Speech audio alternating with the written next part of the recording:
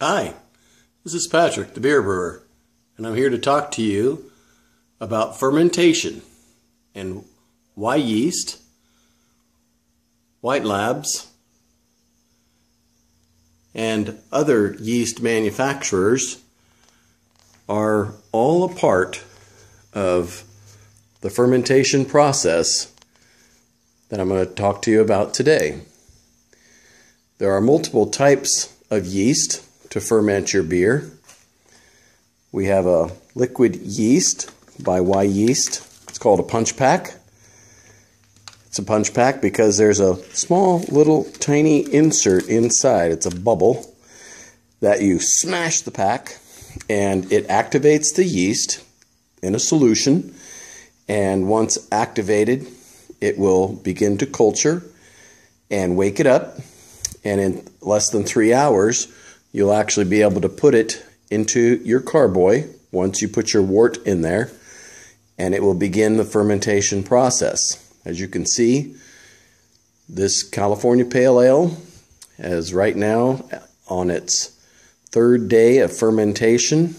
Um, it's created its film on the top, which is the CO2 uh, coming up off of the proteins and the sugar that the yeast is making ether alcohol from. And as you can see on the bottom, there's the trub, which is what's left from that spent protein and sugar. There's also another way to ferment your wort, which would be a dry yeast. This particular yeast is Safbrew T58. It's a Belgian dry yeast. It's freeze dried. The water is taken out of it. Very active culture once it's sprinkled on top of your wort. You would do one or the other type of yeasts based on what your preferences are. Many people would prefer to make their ales and their Belgians with a liquid yeast and your stouts and your lagers with the dry yeast. There's also a way to create what's called a yeast starter, which is what I have in the process right now. I will actually take uh, this yeast, the liquid yeast, put it in here after I make a small wort batch and nearly double the amount of yeast cells for my wort.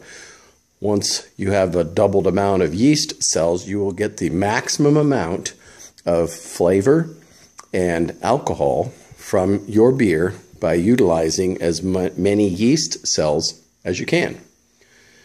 The fermentation process is a very patient process. You also want to make sure that your temperatures when you're fermenting an ale are no greater than 72 degrees and no less than 62 degrees. So keeping it temperate is very important. Lagers uh, are always uh, cold filtered and cold fermented as well. But ales are actually much easier to ferment, and that's why most homebrewers prefer doing ales. Um, besides the fact that it only takes two weeks to ferment and then drink, as opposed to a whole month for a lager to ferment and then filter and then drink. Hopefully, this has helped you understand a little bit more about the beer brewing process.